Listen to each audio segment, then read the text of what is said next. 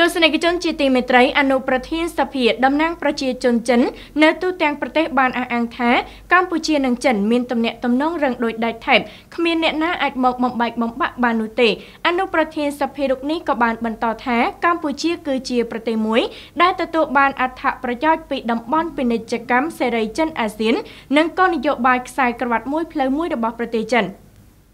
លោកចានឈុនសៀនអនុប្រធានសភាតំណាងប្រជាជនចិនទូទាំងប្រទេសបានអះអាងថាប្រទេសកម្ពុជានិងចិនមានទំនាក់ទំនងរឹងដូចដាច់ថែបគ្មានអ្នកណាមកបំបែកបំបាក់បាននោះទេហើយកម្ពុជាជាប្រទេសដែលបានទទួលផលប្រយោជន៍ពីតំបន់ពាណិជ្ជកម្មសេរីចិនអាស៊ាននិងគោលនយោបាយផ្លូវមួយខ្សែក្រវ៉ាត់មួយរបស់ចិន ការអះអាងបែបនេះរបស់លោកចានស៊ុនសាងបានធ្វើឡើងនៅថ្ងៃទី2ខែវិច្ឆិកាឆ្នាំ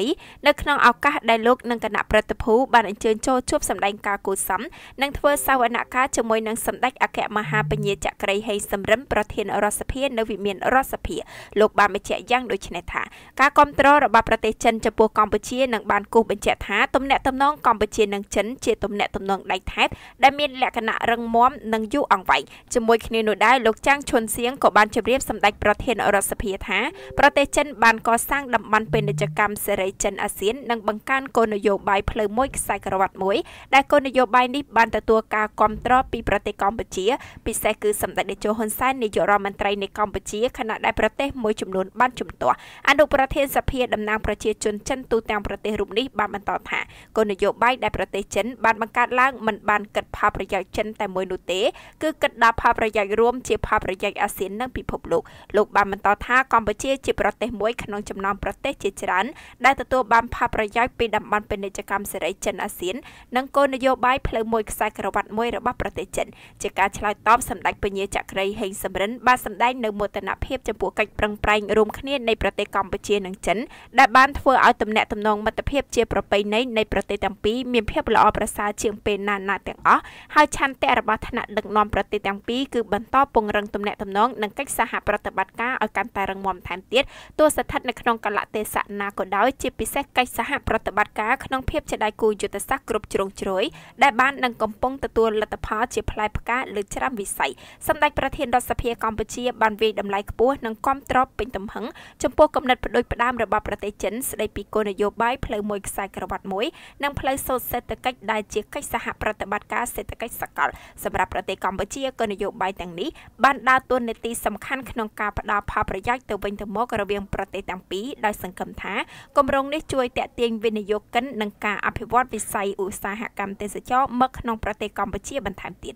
ក្នុងឱកាសនោះដែរសម្ដេចហេងសំរិននិងលោកចានឈុនស៊ីនបានបដិញ្ញារួមគ្នាក្នុងការបង្កើនទំនាក់ទំនងនិងកិច្ចសហប្រតិបត្តិការរវាងស្ថាប័ននីតិបញ្ញត្តិប្រទេសទាំងពីរដែលមានលក្ខណៈល្អប្រសើរស្រាប់ឲ្យកាន់តែរឹងមាំថែមទៀតក្នុងការបម្រើផលប្រយោជន៍ប្រជាជននិងប្រទេសទាំងពីរនៅក្នុងនោះក៏ជំរុញឲ្យមានការផ្លាស់ប្ដូរដំណើរទស្សនកិច្ចដកស្រង់ប័ណ្ណពិសោធន៍គ្នាទៅវិញទៅមកនៅគ្រប់កម្រិតតាមរយៈប្រធានគណៈប្រតិភូសម្ដេចហេសំរិនបានផ្ដាំផ្ញើសួរសុខទុក្ខលោកប្រធានាធិបតីស៊ីជីនពីងលោកលីខឺឈៀងនាយករដ្ឋមន្ត្រីនិងលោកលីចានស៊ូប្រធានសភាតំណាងប្រជាជនចិននិងបានគោរពអញ្ជើញប្រធានសភាតំណាងប្រជាជនចិនទូទាំងប្រទេសមកបំពេញទស្សនកិច្ចនៅកម្ពុជាតាមពេលវេលាសមស្របណាមួយហើយភាគីចិនក៏បានគោរពអញ្ជើញសម្ដេចប្រធានរដ្ឋសភាទៅបំពេញទស្សនកិច្ចនៅប្រទេសចិនផងដែរក៏ជម្រាបផងដែរថាលោកចានឈុនសៀនបានអញ្ជើញមកបំពេញទស្សនកិច្ចជាផ្លូវការនិងមិត្តភាពនៅព្រះរាជាណាចក្រកម្ពុជា រយៈពេល4ថ្ងៃគឺចាប់ពីថ្ងៃទី1ដល់ថ្ងៃទី4ខែវិច្ឆិកាឆ្នាំ